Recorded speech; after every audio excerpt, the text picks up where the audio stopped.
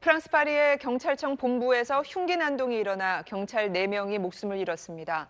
경찰청 행정 직원이 흉기를 휘두른 사건으로 당사자도 진압 과정에서 숨졌습니다. 김도균 기자의 보도입니다. 현지 시간으로 어제 오후 1시쯤 프랑스 파리 중심가에 있는 파리 경찰청 본부에서 흉기 난동이 벌어졌습니다.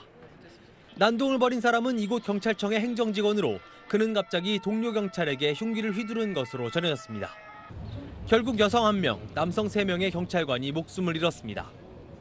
Nous déplorons le décès de quatre personnes, quatre personnes fonctionnaires de deux directions donc de la préfecture de police, la direction du renseignement et également la direction de la sécurité de proximité.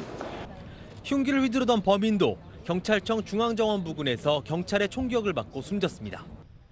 경찰 관계자는 숨진 범인이 평소 이상한 징후를 전혀 보이지 않았다고 현지 언론에 말해 사건의 배경을 두고 관심이 쏠리고 있습니다. 현지 경찰은 사건 직후 일대를 통제하고 사건을 조사하고 있습니다. 파리 경찰청이 위치한 곳은 파리 시내에서 유동 인구가 가장 많은 핵심 관광지 중 하나로 경찰청에서 이런 일이 벌어졌다는 사실에 많은 프랑스 시민들은 충격에 휩싸였습니다. SBS 김도균입니다.